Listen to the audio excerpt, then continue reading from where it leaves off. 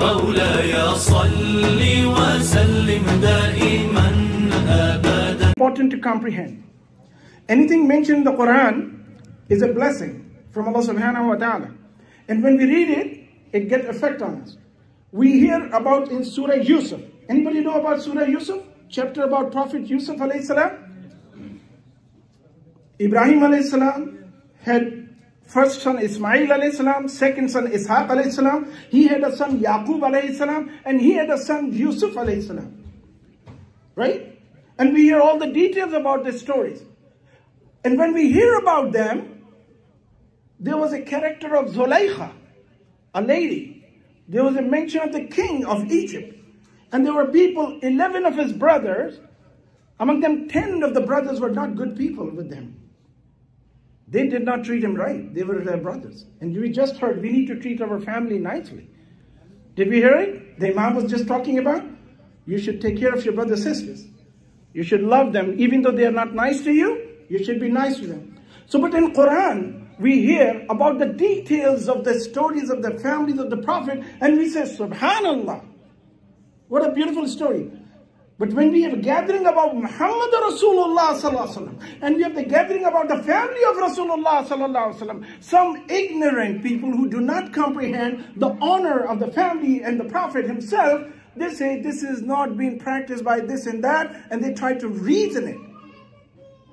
Now let me read Quran. What do we get when we come to this gathering? And I'm going to refer from the Quran, Surah Hud. Allah subhanahu wa ta'ala says in chapter, Surah Hud, chapter Hud, and verse number 120. What's the verse number?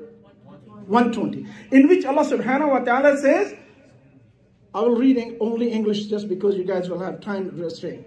Allah says, and all that we relate to you, O Muhammad sallallahu alayhi wasallam, of the news of the messengers of the in the order is in the order that we make strong and firm your heart thereby. And in this chapter of the Quran has come to you the truth, as well as an admonition and reminder for the believers.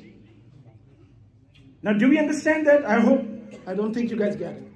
Allah says, وَكُلًّا نُقَصُّ عَلَيْكَ مِنْ أَنْبَاءِ الرُّسُلِ مَا نُثَبِّتُ بِهِ فَوَادَكَ Allah is telling to Prophet, but Prophet's iman is there. Right? Prophet's heart is not weak. But this is for us to understand through the tongue of Prophet ﷺ, a message conveyed from Allah through the Messenger ﷺ for us. So these stories of the prophets are being told so that our heart will become strengthened. وَجَاءَكَ فِي هَذَا الْحَقِّ وَمَوْعِظَةً وَذِكْرًا لِلْمُؤْمِنِينَ And to you have come this zikr, the Quran of the truth, and a wise advice for you, and a remembrance for the believers. So if you hear the stories of the prophets, your iman becomes strong. Your faith becomes firm. So if somebody says, oh, Sahaba didn't do this, Sahaba didn't do that, but the Quran says you should listen and do it. Because Sahaba were with Rasulullah sallallahu wasallam day and night and they were there, they saw him. But we did not see him. So as the story of the previous prophets and their families, stories were narrated by Rasulullah because those prophets were not there. So we learn about them through the Quran. It's not somebody's making up the story. And the next verse is even more affirming and more educating to us in Surah Yusuf. Surah Yusuf, Allah subhanahu wa ta'ala says in verse number 111. What number is?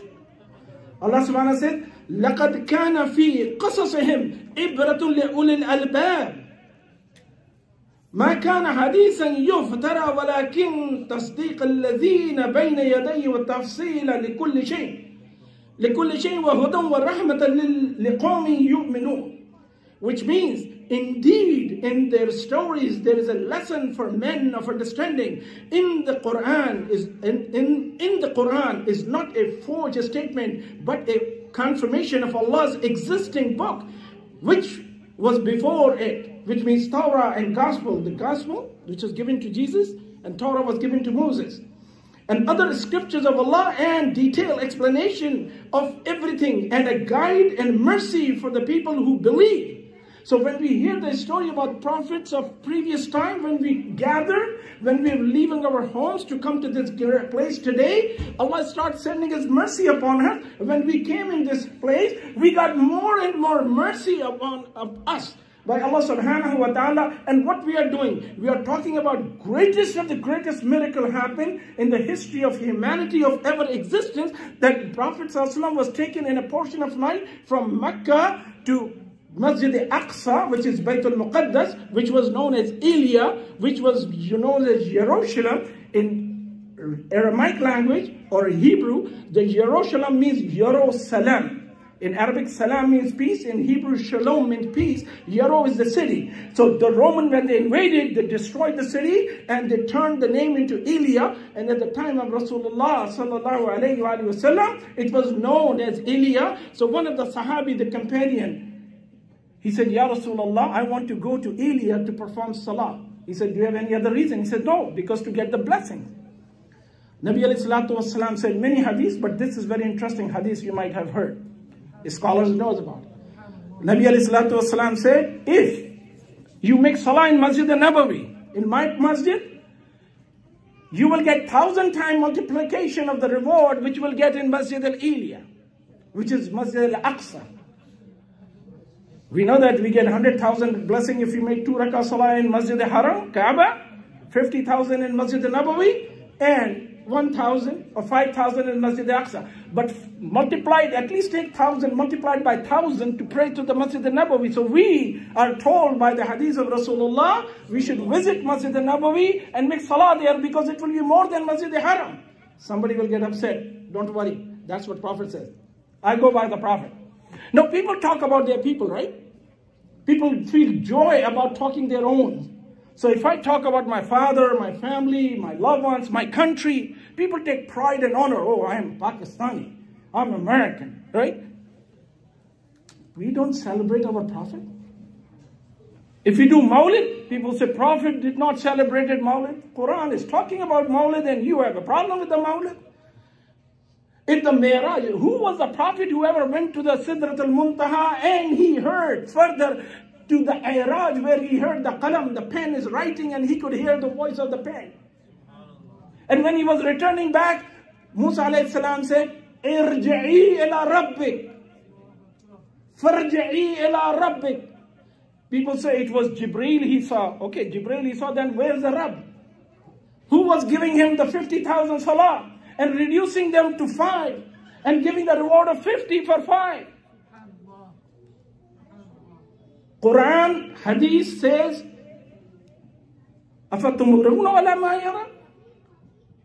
You are fighting over what he saw? Nabi alayhi salatu wasalam and Hadith says, Sahabi asked him, Ya Rasulullah. He, one Sahabi asked, a Tabi asked a Sahabi, that did the Prophet see Allah? Did you ever ask him? He said, yes, I did ask. So he replied, I saw Nur. A Kabir Sahaba, Abu Bakr, Omar, Osman, Ali, Abdullah ibn Abbas, all the Kabirin Sahaba believed it that Nabi alayhi saw Allah subhanahu wa ta'ala. How he saw, what he saw, because there was no third party, we cannot describe. We believe it because we believe Jibreel bring the uh, revelation of the Quran every day. So we should believe in it. There's no, it's not a matter of discussion. Our Prophet saw Allah, he said he saw, we believe in it. Quran says he saw, we believe in it. Umm al-Mu'mineen Aisha has a little different opinion. And her father Abu Bakr radiallahu anhu, he came to her, he asked her, is that what you say that the Prophet did not see Allah? She said, yes, I think so. He said, Quran was revealed upon you or Prophet Muhammad? But she had this thing and the story is there. The Muslims do not change the story.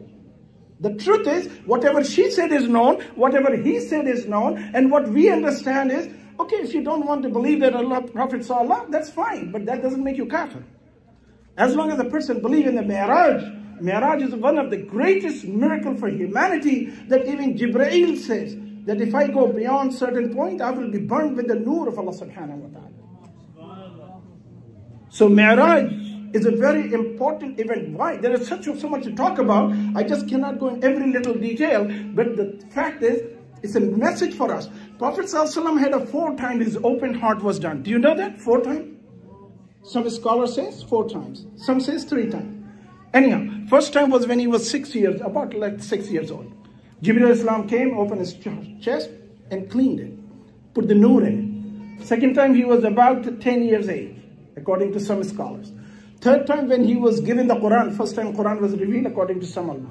But this one, Anas bin Malik radiallahu ta'ala described, he saw a scar on his chest.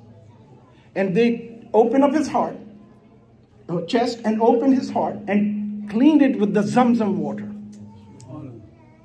Now, if you take somebody's heart out, do you think person is living? You believe in that hadith, right? But you have a problem with Rasulullah going to Miraj. Where is Isa al-Islam right now? Anybody knows? In the heavens. In the heavens. Sky number two. Sky number two. Is he living? So if he can live on the second sky, why ever my prophet cannot go to Sidratul Muntaha and above the Arsh of Allah, if Allah wills so. So we believe in that part, but we do not believe Muhammad Rasulullah went to Mi'raj. 2000 year old Isa is sitting there. Every Muslim believes that. But nobody questioned it. But when it comes to Rasulullah's Mi'raj, people have a question. What kind of Iman is that?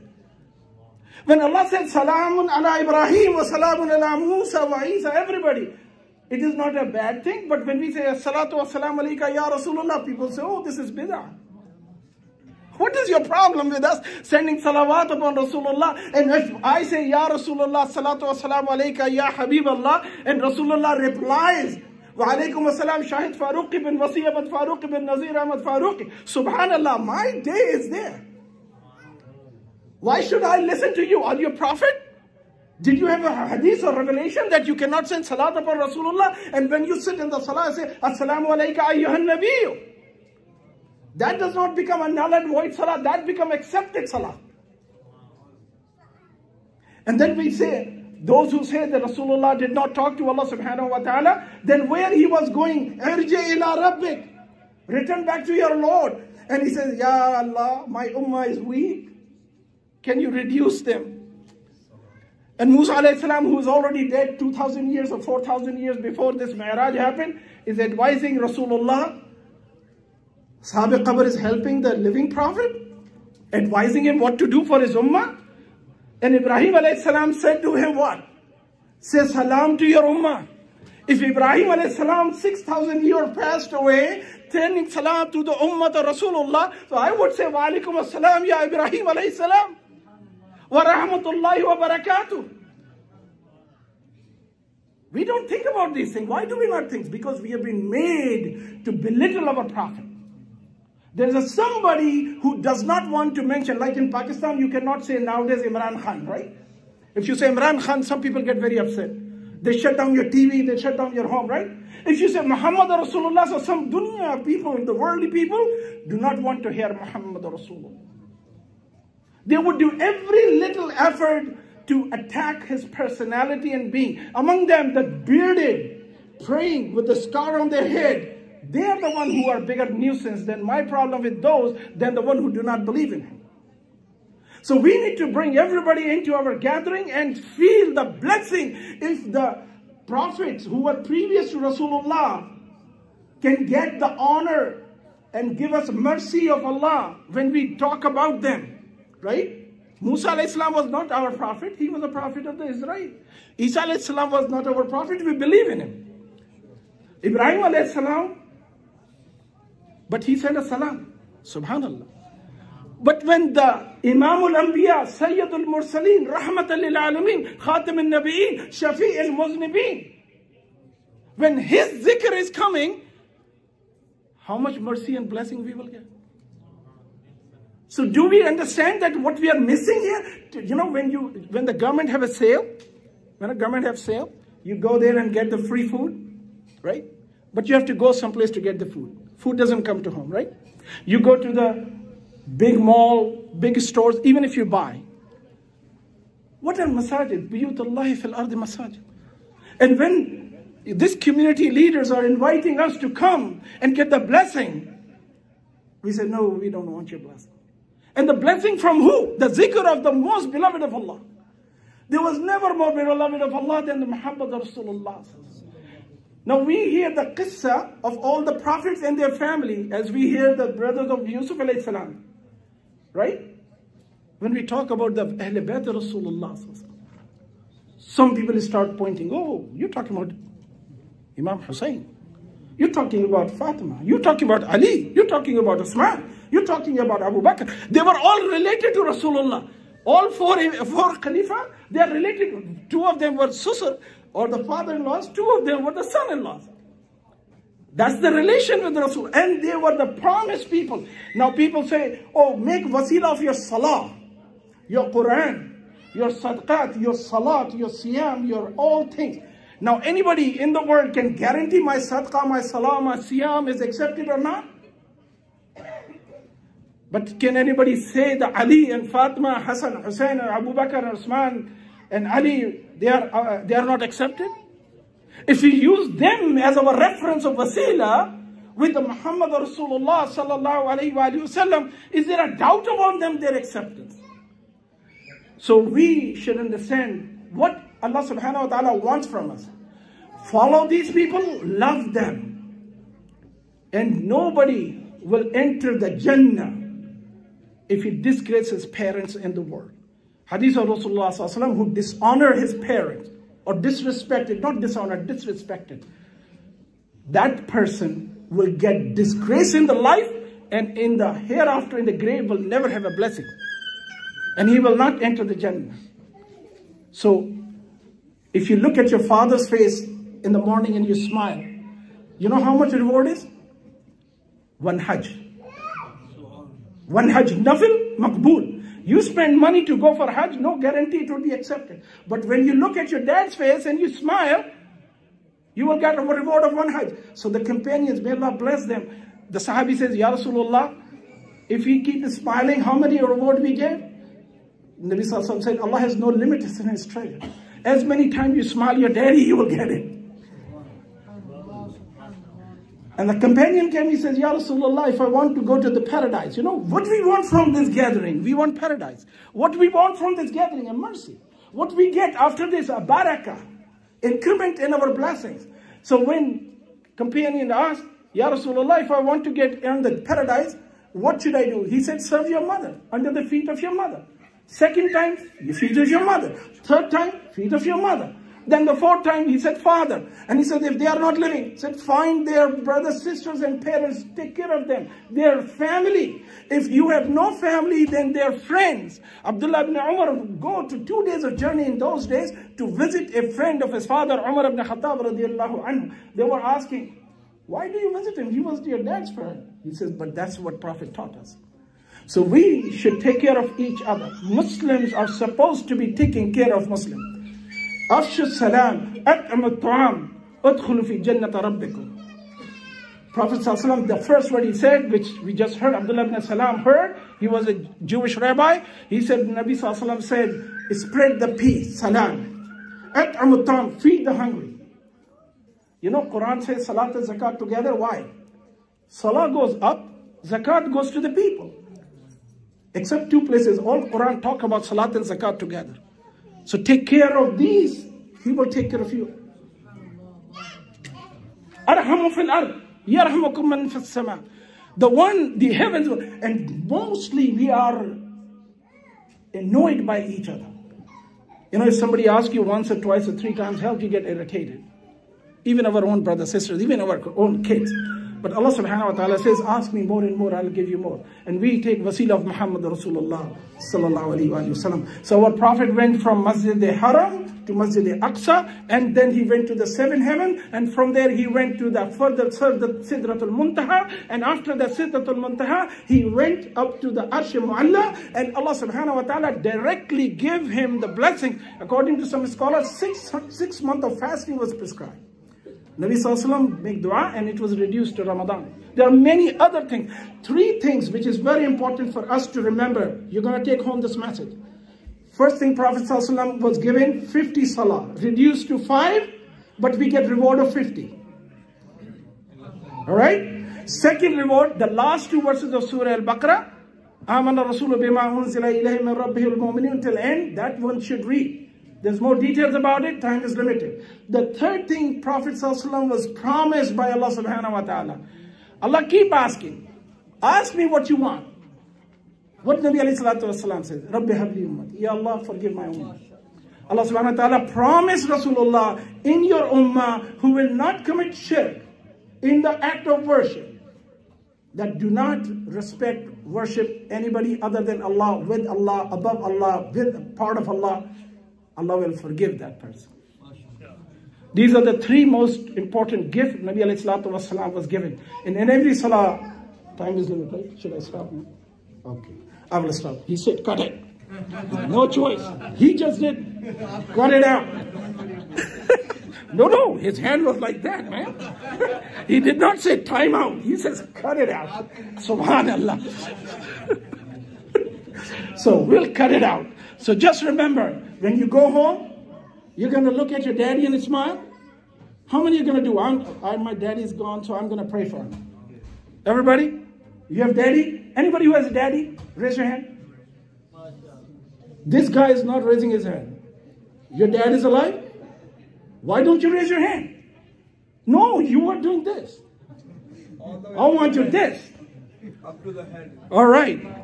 So everybody will see his daddy today and smile and say, Daddy, I love you. And go to mommy and tell her, Mommy, I love you and thank you for being my mom. Right? When we were young and we didn't have the ability to control our bladder and bowels and she was cleaning us, you know. She knows everything about us. There's no secret with mommy. Right? We should say, thank you, mommy. You know what they want? They want nothing. They want to see smile on our face. And you know, one person who wants you to be ahead of them is your father. Everybody wants you behind them, and father wants you to be better than them.